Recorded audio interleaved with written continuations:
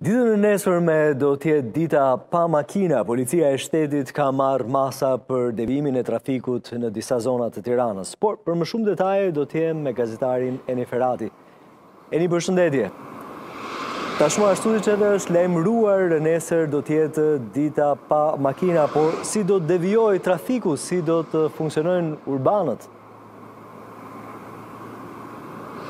Përshëndetje Ilir, atëherë Policia Bashkiake së bashku me Policinë e Shtetit kanë lajmëruar që do të ketë kufizim të qarkullimit të automjeteve për 6 orë ditën e nesërme në kryeqytet dhe nga ora 9 deri në orën 15 do të ketë kufizim të qarkullimit të mjeteve përgjatë bulevardit Dëshmorët e Kombit. Bëhet fjalë për segmentin nga sheshi Skënderbej deri në sheshin Nënë Tereza, ku për gjashtë orë pra nuk do të lejohet qarkullimi i automjeteve për shkak se gjatë ditës së nesërme edhe Bashkia e Tiranës ka planifikuar të zhvillojë disa aktivitete në këtë segment. Nga ana tjetër për linjat urbane që janë të detyruara të kalojnë në këto segmente, është parashikuar që ato të devijojnë në akset e tjera të kryeqytetit për të përmbushur kështu edhe planin e masave. Në fakt, kjo është një nismë që ndërmerret nga Bashkia e Tiranës, por që është përqafuar edhe nga shumë kryeqytete të tjera të Europës. Nga ana tjetër, dua të theksoj faktin që kjo nismë vjen jo, jo, jo vetëm si nismë ekologjike, por edhe për shkak të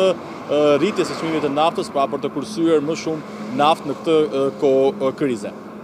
Po Eni, a do të ketë masa ndëshkuese për ata që i shkelin rregullat e ditës pa makina?